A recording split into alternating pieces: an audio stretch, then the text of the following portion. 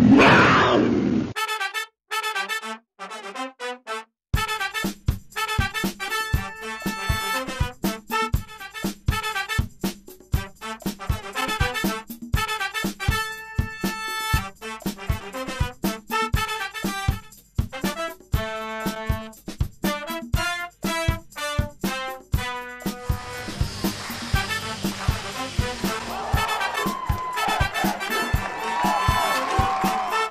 Cat Chat, brought to you by Vangos alongside Sean Kelly. I'm Pete Francis. And Sean, the hockey team played at Bowling Green this weekend, and they didn't get quite the results they were looking for, but all in all, it wasn't a bad weekend. That's right, Pete. They did get some points, and that's really what they needed this on this crucial weekend, as uh, the CCHA is really uh, compact right now and clustered, and any points was good. Friday night, they did start off strong. They got a goal from Justin Florek and Phil Fox to open a two to nothing lead. And unfortunately, in the third, it was a turning point of the game where Andrew Chernyshyn got a five-minute major, and it's really been the uh, the Achilles heel for this team this season is penalty minutes, and it came back to bite them as uh, they was Bowling Green would score on a five-on-three, then later on the power play as they evened it up at two to two. That would be your final as it went to a shootout where Bowling Green did pick up that extra point Cats only got one Friday night, but Saturday they respond nicely. They did stay out of the penalty box. They got two goals from Phil Fox, who turned in a huge weekend. And they also got a game winning goal from Gregor Hansen, who continues to play strong here coming down the stretch.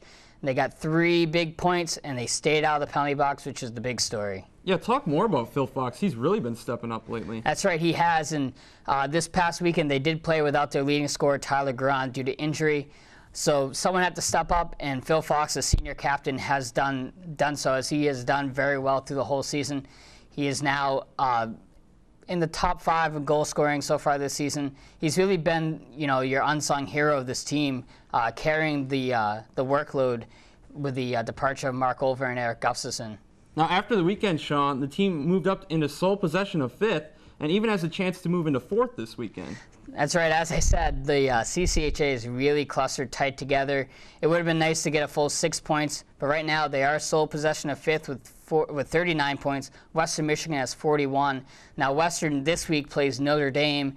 NMU hosts Michigan, and then down the line, Alaska's done with CCHA play, so they're locked in with their points. Ferris plays Ohio State. That's a big series, and Lake State, not far behind, plays against Miami. So there's a lot of tight matchups going on this season, uh, this weekend, and it's going to be a big, big series. And hopefully the Wildcats can get some points against Michigan and and uh, wrap up fourth or fifth place and get a first round bye. Yeah, Michigan coming to town will be a crucial series. How does NMU pull off the upset here? Well, I really think if they're going to make any headway moving it ahead in the standings, they have to win Friday and put pressure on the other teams like Ferris State and Lake State and Ohio State and, and Western, basically everyone else in there to win. And by doing so, they're going to have to stay out of the penalty box. Michigan is a very talented team. They're in the top 10 in the country. They're pretty much a solid lock for the NCAA tournament right now. So it'd be a great place to see where Northern really uh, lies against the top teams of the CCHA, and it, it, could be great momentum going into the playoffs. Knock off Michigan, and who knows, they could host a first round or host a second round game. They're locked in to host a first round game no matter what right now if they don't get the first round bye. So it's going to be a big weekend. They're going to stay out of the box, get great goaltending, and hopefully Tyler Gron can come back and set the pace in, on the offense. Yeah, it should be fun to watch. All right, we're going to take a quick break, and when we return, we'll have highlights from Senior Day for the women's team and the men's team, so stay tuned. Attention Wildcat fans! Vangos, the longest running pizza parlor in Marquette, is a proud supporter of Cat Chat. Located on 3rd Street, Vangos is your neighborhood bar and restaurant with takeout and delivery. Open seven days a week, Vangos specializes in only the freshest ingredients. From the dough to the pizza sauce made from scratch, Vangos uses the freshest vegetables for all pizzas, soups, salads, and specials, and has the best homemade food in town. Vangos, come taste the difference. I just saved $44 on three of my family's medications with the MKS Prescription Saving Card. Stop into your nearby Snyder Drug and start saving with the MKS Prescription Savings Plan. Hey Wildcat fans, for the latest news, updates, and online exclusives, check us out on Facebook at facebook.com slash NMUCatChat. Welcome back. Joining me now is Brice Burge, and the men's basketball team had their home finale this weekend, so let's go to the highlights. Wildcats looking to finish strong at home. We'll get things started in the first half. Early on, it's Matt Craggs with the three pointer, giving NMU a 10 8 lead. Still in the first half, Mylan Murphy with the nice move, and he'd finish with 14 on the day. However, Ashland goes into the half with a 44 38 lead. To the second half we go. It's Matt Craggs from downtown narrowing the gap to three. Later, it's more Craggs as he cans another one from long range. Then, with a minute 32 to play and NMU down three, it's Craggs again from downtown and it's tied up at 68. Cats get a stop on defense and come back with the big cat, Jared Benson, to take the lead, and the Wildcats hold on to get the win 72 68. Brice, great win for the team this weekend, and it was nice to see them go out on a high note in the home finale. Yes, it was a great way for the Wildcats to end, especially what happened on Thursday night. Uh, four Wildcats were able to score in double digits Craggs, Murphy, Benson, and Martin Gross. Uh, Craggs also added eight boards. Murphy had a season high four blocks, and Gross had five assists, which doesn't really sound like a lot, but in the uh, Division two ball, that is a considerable number. But what really stood out to me was a solid defense. Uh, especially near the end of the game. Ashland had some great opportunities to come in and tie up this game, push it towards overtime, and get this game a lot closer than what the 72 68 score said. But Wildcats defense were able to get some things settled down and uh, really paid off for them at the end of this game. Now, Brice, Saturday was senior day for the women's team. Yes, they also won it well uh, as well, being the first time that the Wildcats uh, have both won on the men's and women's sides on the same day all year. Um, some good, good play overall, especially from Stephanie Stager, who scored 25 points to put her over the 1,000 career point total. Uh, unfortunately, on one aspect of it, the women's team was finally eliminated from playoff contention uh, with Tiffin's win over Ohio Dominican. So that kind of marked a little bit of a, of a sad day uh, or a sad motion on this senior day that celebrated five seniors. But as you can tell with this package here coming up, that uh, they weren't too unhappy with how the game turned out.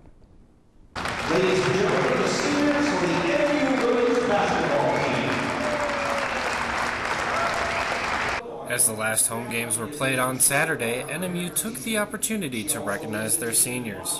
The women's basketball team was enough to end out the seniors' home games with a good note here for six players, with one extra in Krista Erickson, who played her last game last year in the round of 32 against Drury University.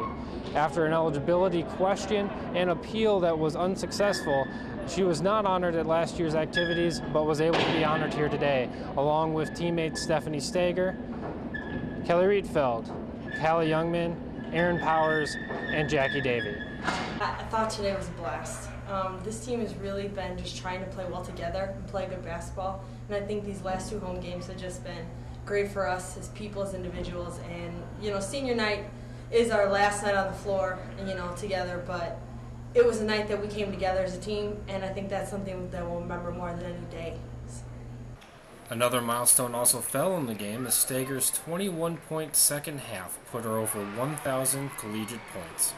It's cool. I mean, I I don't think I would ever imagine getting in college because I did in high school, but um, it's pretty it's pretty cool, and I'm glad I could do it at, in this jersey and represent the school. And I don't know. I guess it's uh, it's what you get when you have a good team, good teammates get me the ball and give me the ability to finish shots. So. We're going to take another break, and when we come back, I'll be joined by head men's basketball coach Doug Lewis. Stay tuned. Attention, Wildcat fans! Vango's, the longest running pizza parlor in Marquette, is a proud supporter of Cat Chat. Located on 3rd Street, Vango's is your neighborhood bar and restaurant with takeout and delivery. Open seven days a week, Vango's specializes in only the freshest ingredients. From the dough to the pizza sauce made from scratch, Vango's uses the freshest vegetables for all pizzas, soups, salads, and specials, and has the best homemade food in town. Vango's, come taste the difference.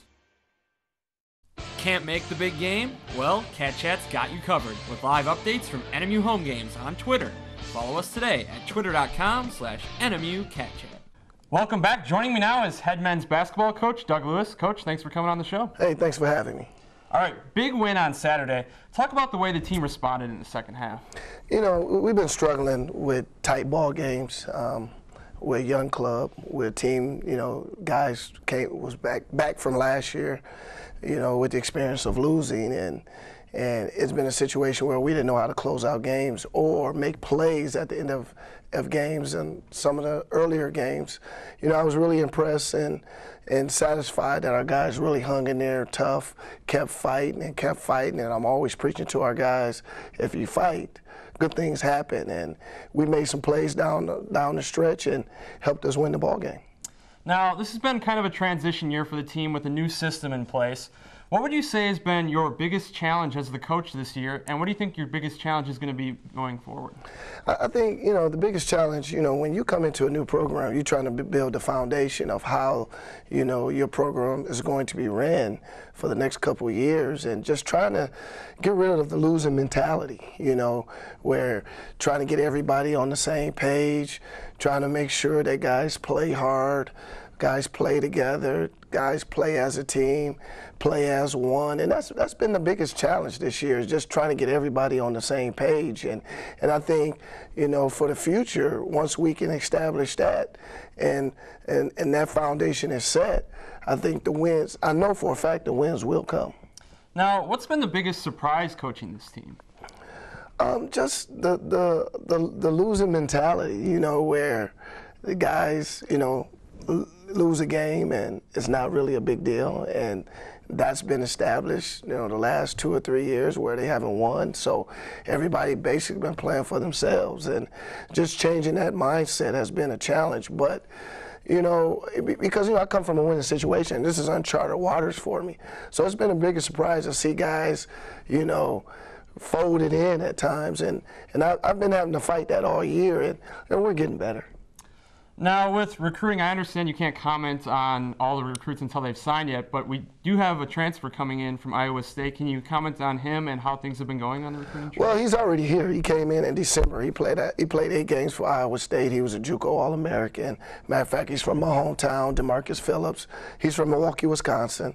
He was Mr. Basketball in Wisconsin uh, about three or four years ago. And um, he's going to, you know, he's really going to help us play the way we want to play. Very talented a kid, great kid, good person. You know, we want to bring in good student athletes, but at the same time, we want we want to make sure they're good people and, and they're fit for our program. He, you know, he's very athletic. He can score, and, and you know, we've been missing at the guard spot. You know, the guard spot. I think our leading guard is averaging like seven points a game. I, you know, this this would be a situation where he can come in instantly help Benson and Craggs and Mylan Murphy out. So it's going to be a really good fit for us. Now, one thing you mentioned when you came to NMU was you're really impressed with the facilities here and that they were uh, a lot better than what you're used to. Do you think that has helped you in recruiting? So oh, it's far? been it's been big. I mean, this is you know we have Division One facilities here, and every recruit that I've brought on campus, we have two commitments so far. We have the kid transferring in from Iowa State, who who has transferred in from Iowa State, and every time these kids come in, they can't believe how nice the facilities are for Division Two, from our arena to our practice facility to even going in, in the dome, seeing a Division Two team, football team playing in the dome. So it's, it's been a great help. Now, there's some solid talent coming in next season, plus there aren't any departing seniors. How much of a jump do you think this team can make next season? I think we can make a big jump. You know, um, like I said before, you know, the, the wins wasn't the most important thing this year. You know, it was all about just building the foundation and changing the mindset of this team. With the guys, with majority of our guys coming back, adding some talent to this bunch, we can make a big jump. You know, they it took basically our kids all year to learn the system, learn me as a coach, what I want, and understand how demanding I am. You know, we really push our kids, and I think going forth and going into the season next year, they have idea plus adding some more talent. I mean, some more talent, we can make a big jump. All right, now there's two road games coming up this weekend to close out the season. How does the team prepare to, for a strong finish? Well, I, yeah, the start was yesterday, you know, because Thursday was, you know, was a bad game. You know, I, I was truly embarrassed, and you know, I, like I said before, I apologize to the community and and our fans and students. You know, that is not how we're going to play here at Northern Michigan. The way we played Thursday night against Lake Erie, we did some things Friday where I got their attention, came out, played well Friday, and what we want to do is just no matter the last two games, we're only going to take one game at a time, is to build on that. And that give us confidence going on the road. And these are two winnable games against Northwood and also Saginaw Valley State. So I look for our guys to come out with some confidence, play hard, and give us a chance to win. All right, it's time for five random questions. You ready? Yes. All right, best pump up music. Best, um, who let the dogs out? All right. if you coached a sport other than basketball, what would it be? Football. All right. Who is your biggest influence in coaching? My, my high school coach, James Gordon, he's a legend in Wisconsin. He's in the Hall of Fame. He coached Latrell Sprewell. He's like 380 and 30 win losses, and he won three state championships. So it, that's who I look up to in basketball. All right, favorite thing to do away from the court? Um, I like to, to relax, work out, um, watch a lot of basketball games on TV. You know, pretty much that's my life is basketball. Okay, and favorite thing about living in the UP? Just how nice the people are. You know, I mean, very nice people. You know, I mean, you know, open. You know, just caring and you know, friendly and that and the people, the people in the community. That's what I like about the UP. Coach Lewis, thanks for coming on the show. Hey, thanks for having me. All right, that's men's basketball coach Doug Lewis. That's going to wrap up this week's edition of the show for the entire Cat Chat crew. I'm Pete Francis. Until next time, go Cats.